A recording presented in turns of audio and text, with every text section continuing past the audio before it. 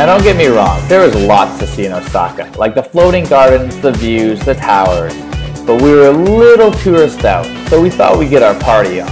And boy did we get our party on. We went to a place called Joyopolis that had loads of interactive video games. When we went out, we met this guy from Holland. We found this little hole in the wall where you could play dice and win free drinks. If you lost, you won an even bigger beer. Back at the hostel, I saw a poster that said there was this bar filled with old school Nintendo games. We're talking NES, Super Nintendo, and N64. Right up my alley. We finally made it back to the hostel. We had to pack our bags and leave, but not before I checked out the bonsai gardens at the top of the roof. Bonsais are my favorite! The view wasn't that great, but the trees were spectacular. Stunning, really. Overall, I'd say Osaka was a knockout. well, Sally loves Harry, but Harry doesn't love Sally anymore. This is their story, and this is what Sally did. We were finally able to meet up with our buddy JJ, so we rented bicycles. Act now, when you go to Nara, you go to Nara for one reason and one reason only. Case it wasn't clear, it's the Japanese theater.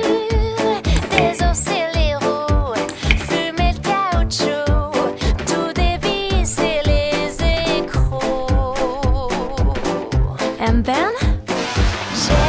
But just because they're cute doesn't mean they can't be vicious. We hopped back on our bicycles and we were off to go see the rest of Nara.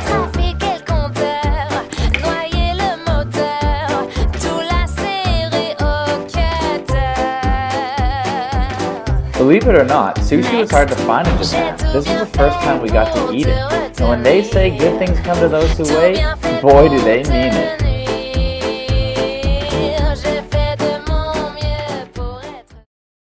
For days now, there have been doom laden predictions about this storm, the biggest the world has seen so far this year.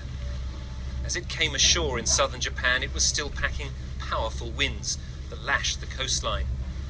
The good news is that Vongfong has lost much of its destructive power. Today it was downgraded to a tropical storm, meaning sustained winds below 120 kilometers an hour. This is what Vongfong looked like as it churned towards Japan last week, the massive storm system picking up more and more moisture from the warm waters of the Pacific Ocean. We had tried to venture out on the first day of Kyoto, but the typhoon had finally caught up to us. We were cold and wet and needed a good home-cooked meal. You know well I'm a chicken fried And cold beer on a Friday night A pair of jeans that fit just right And the radio oh, oh, oh, It was exactly what we were looking for on this cold, wet day. We had a warm meal, steak, cream, and ocean. And boy did I have ice. Well I was raised up beneath the shade of a Georgia pine. And that's home, you know. Sweet tea, pecan pie, homemade wine Where the peaches grow. And my house The next day we were back on the road. We thought we'd check out the farm country and see the sights. filled love is grown in southern ground. And a little bit of chicken fried. There was a lot of ground to cover in Kyoto We started with a lot of temple watching We got lost along the way we came across an elderly man eating bread to fish. We had to see this for ourselves and joined him. Ariel insisted on getting figs from this farmer, and I'm happy he did. They were sure good. What you drive or the price tag on your clothes. There's no dollar sign on a piece of We finally found the bamboo forest. It was stunning in every way. The tall stalks of bamboo reached straight to the sky. Toast to a little bit of chicken fried and cold beer on a Friday night. It was getting late in the day, but we still had a lot of ground to cover. So we were off to Monkey Mountain. Oh, but like to see the sunrise, see the love in my woman's eyes, feel the touch of a precious child, and know a mother's love.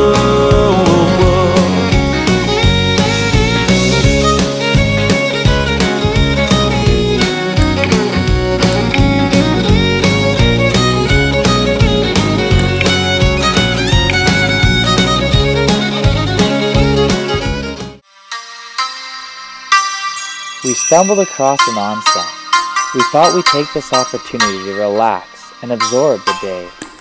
It was extremely relaxing and well needed.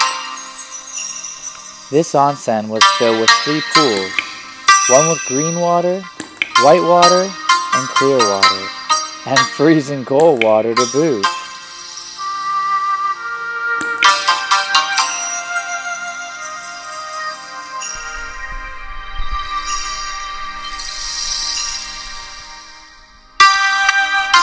Our meals were delicious.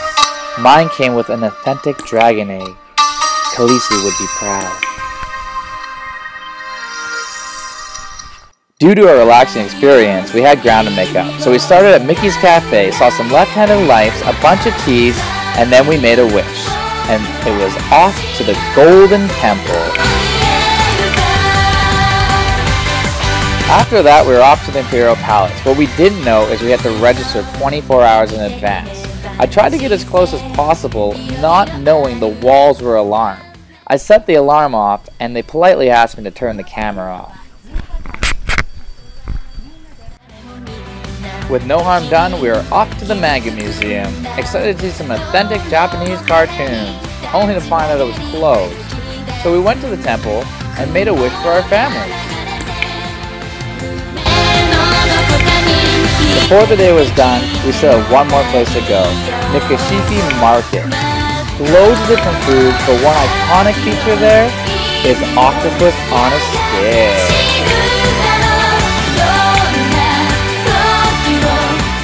We have almost made it to the big city of Tokyo, but first a quick stop in Yokohama.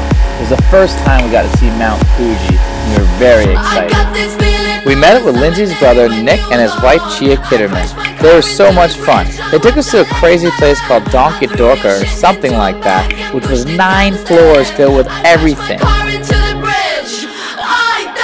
With no time to waste, we were off to Mount Fuji.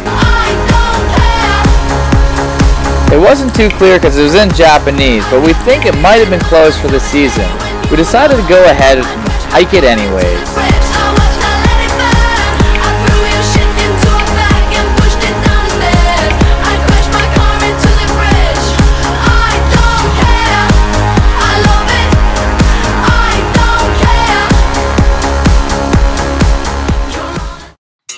It was a clear night and we could see the lights from a distance.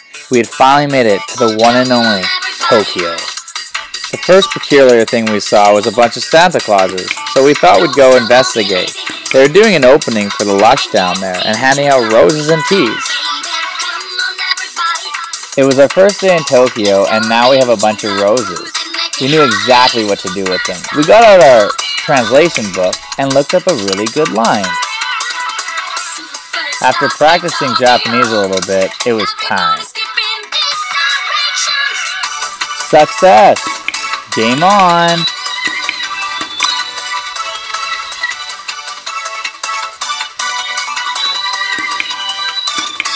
There was so much going on in Tokyo with the bright lights and the colors, we thought we'd get overstimulated with some 3D stimulation. One thing every culture has in common is their love for beer. So we check out this museum to its fullest.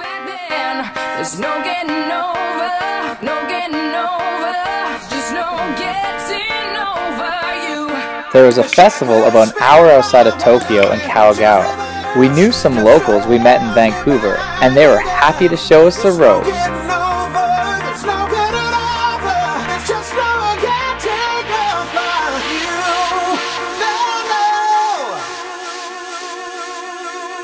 Hey, hey, I can't forget you, baby. I think about your. I tried to masquerade the pain. That's why I'm next to the roof. The, the, the dancing to the groove. But, but there is no, there is no. Okay, it was a big carnival with lots of games, but this one I had to try. If you were able to put the turtle in the bowl, you get the turtle!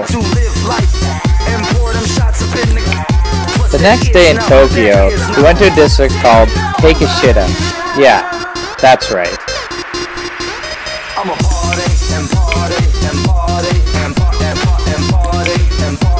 Robot Restaurant is exactly what it sounds like. and an experience I think everybody should try. It's basically Tokyo summed up.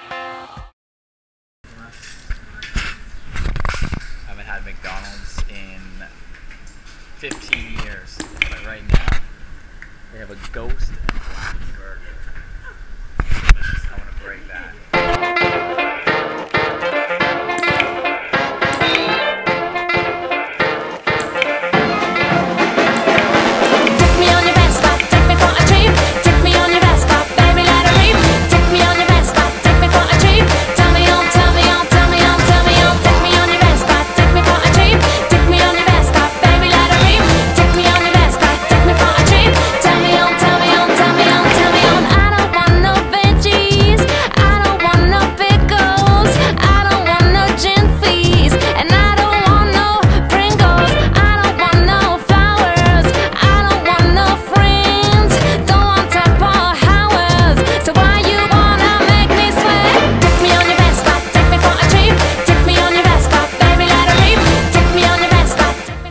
Okay, one more thing, really important. If you ever come to Japan, the first things you gotta experience is the toilets. Now, if you've ever seen that Simpsons episode where they have the colorful lights and the toilet sings to them, they are bang on. They have buttons up the yin yang on these things. And you better believe I pressed every single one of them.